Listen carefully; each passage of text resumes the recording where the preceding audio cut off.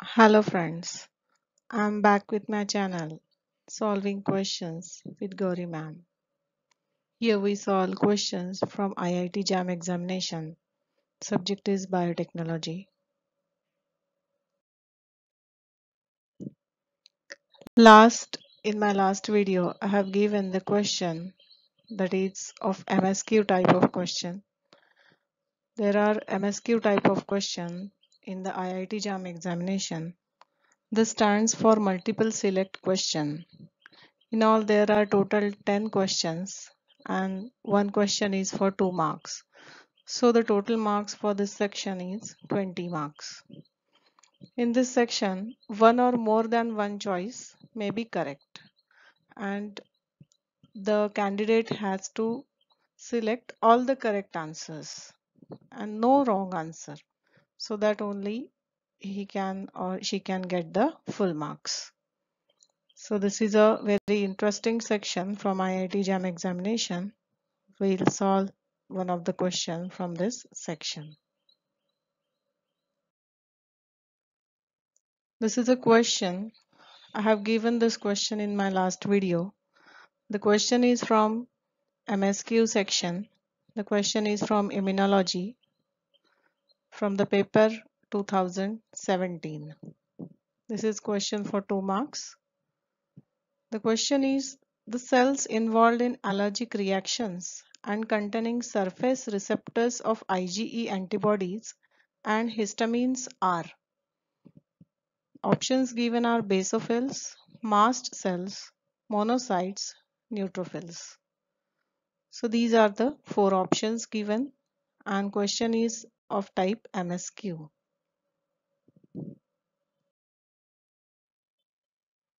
We can pause for a while. You must have think over this question. The question is from immunology.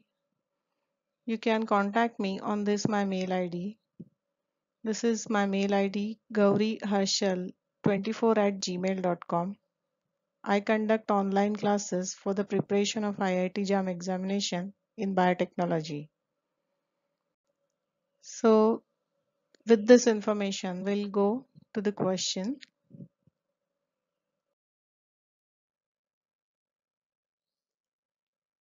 Here, this is a summarized image of hematopoiesis.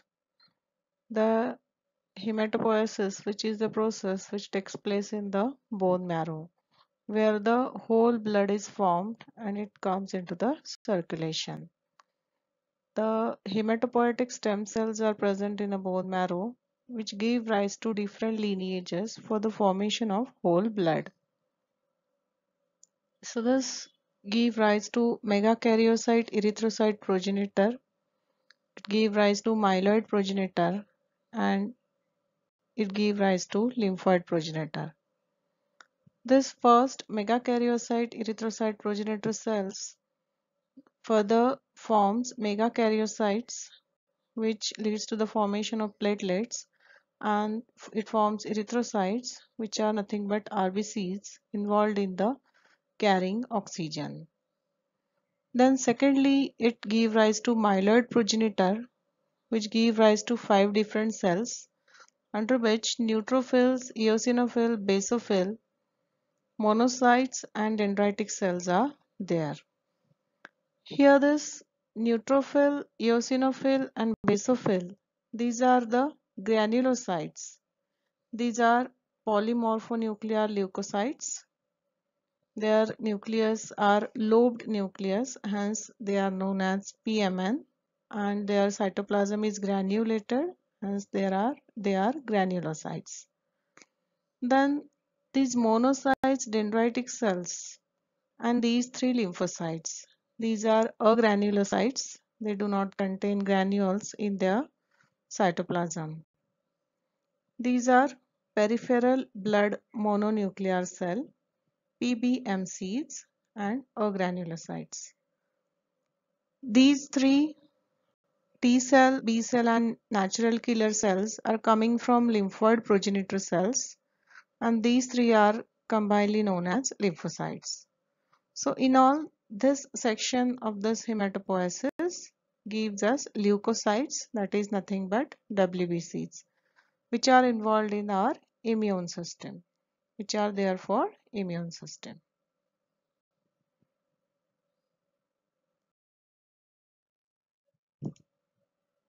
Now here we'll go to the options given in the question one by one. So the first option given in the question is basophil. This is the image of basophil. It has a lobed nucleus. The nucleus is lobed in the basophil and these blue colored granules are shown in the basophil. These are the uh, granules present. The cytoplasm is granulated in the basophil. This stains with the dye which is basic dye methylene blue. That's why the name is given to this as a basophil. These are non-phagocytic cells. They do not perform phagocytosis. Phagocytosis means engulfing other cells and uh, then degrading the cell components inside the uh, this phagocytic cell but these are not the phagocytic cells and also their concentration is very less it is found less than 1% in the circulating WBCs.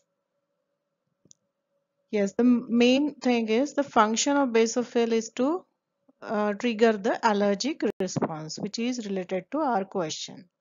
These granules which are present in basophil are contain the histamine which triggers the allergic response in the body and uh, this is the cell which is involved in the allergies.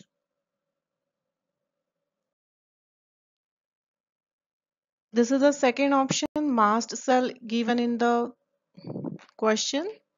So this is resting mast cell and this is activated mast cell. See this mast cells are having receptors for IgE antibody. The receptors are known as Fc epsilon R1, Fc epsilon receptor 1 which are present on the mast cell.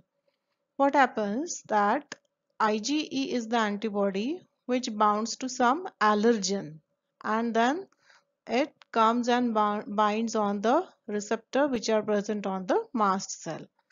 Due to this binding, this mast cell releases, degranulates and releases the components which is again a histamine is one of the component released by this mast cell which triggers the allergic response. So this is another cell which is involved in the allergic response. And again in the question it is asked that the receptors for the, it contains the receptor surface receptor for IgE antibody. So this is the correct answer for the uh, given question. See where these mast cells are present. These are present in skin, in connective tissues of various organs. These are present on mucosal epithelial cells of the respiratory, genitourinary and digestive tracts. So these are present in a various portions of the body and which triggers the allergic response against the allergen. So the answer for the given question becomes mast cell as well as basophils. Then coming to the next option, the option is monocytes. So let's understand what are monocytes, whether they are involved in allergic response or not. So these are the monocytes and this when these monocytes become enlarged, it becomes a macrophage. Here the thing is like monocytes are formed in the bone marrow. It circulates in the circulating blood for about 8 hours. It resides in the tissues and it becomes a macrophage. Different tissues have different macrophages. There are uh, names for the macrophages given according to the tissue type. These macrophages are involved in the phagocytosis. See this, macrophages are having pseudopodia through which using this pseudopodia it can trap the antigen and it can engulf antigen.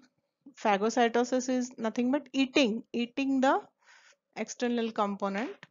So this macrophages does phagocytosis and when the component get inside it is cleaved the components of that cell cleaves by this lysosome lysosome and phagosome combined with that engulfed portion it forms phagolysosome and it cleaves the things which are present in the engulfed cell and that is again represented on the MHC class 2 on this macrophage. So this macrophage is a potent antigen presenting cell. This is acting as a APC antigen presenting cell. Again these macrophages are involved in the opsonization. So what is opsonization? This is uh, the thing similar what we have discussed in case of mast cell. As mast cells were having the receptors for IgE antibody these macrophages are having receptors for other antibodies. And when some other antibody captures the antigen it comes and it binds on the receptor which is present on macrophage macrophage afterwards engulfs that antigen antibody complex and the process is known as opsonization. The antibody which is bringing that antigen is known as opsonin and the process is known as opsonization. So there is no role of these monocytes or these macrophages in the allergic response. So this is not a correct answer for the given question. This is again involved in the inflammatory mediators. This increases the secretion of inflammatory mediators.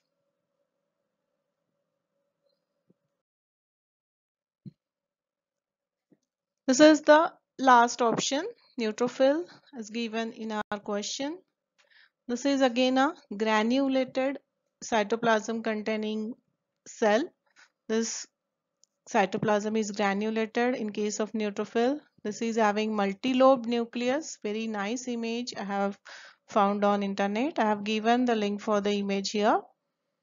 So this again produced through hematopoiesis and this is the first cell which arrives at the site of inflammation. Neutrophil is the first cell. This is active against many infections and again this is also a phagocytic cell. So macrophage and neutrophil are phagocytic cells and uh, basophil and mast cells are involved in the allergic response out of the four options.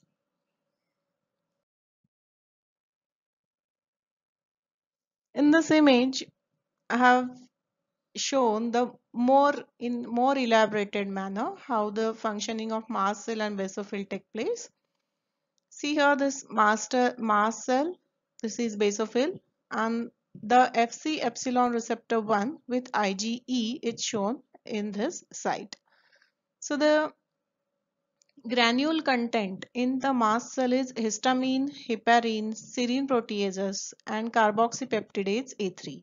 So these are the granule content which are present in a mast cell. While the granule content in basophil is again histamine is there, chondroitin sulfate is there, tryptase and carboxypeptidase A3 is also there in a basophil. These granule contents are involved in the triggering the allergic response and these are present in a granules in mast cell as well as in basophil. Here the cell membrane is there. This is a membrane of mast cell on which this Fc epsilon receptor 1 is present. This is Fc epsilon receptor 1. It is having alpha chain, beta chain, gamma chains are there. And to the alpha chain, alpha 1 and alpha 2 domain get bound with the CH3 and CH4 domain of this IgE antibody. As we have discussed, this antibody is coming along with antigen, which here the antigen would be a any allergen and after this binding, there would be a degranulation of the mast cell. Through the granules, these components would get released and which give rise to allergic response. The allergic response will include skin irritation, skin itching, eye itching, sneezing, redness, swelling, So these are the some symptoms of the allergies which are triggered by these two cells and this antibody is involved in this uh, reaction. ITAM molecules are there on the B chain and gamma chain of this receptor. ITAM is the immunoreceptor tyrosine based activation motif. So this is related to cell signaling and uh, ITAM molecules are there for the on the beta chain and gamma chain of this Ig receptor for this IgE.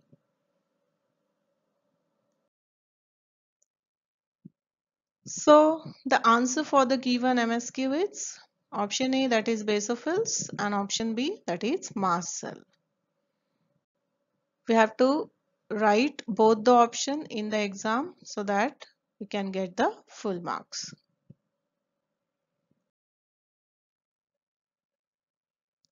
This is a question for my next video. The question is from paper of biotechnology 2020 and this is a MCQ type of question, multiple choice question. Only one answer would be correct out of the four. So question says that protein that helps other proteins to fold correctly is chaperone, proteasome, ubiquitin, desmosome. Out of these, one option is correct. We'll have discussion for this question in my next video. You have time to think over this. You can find the answer for this. You can mail me the answer. You can write the answer in comment section also.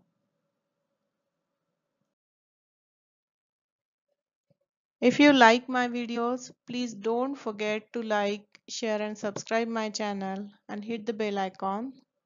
This motivates me very much. So please don't forget to like, share and subscribe. Thanks for watching my video. Thank you very much. Bye.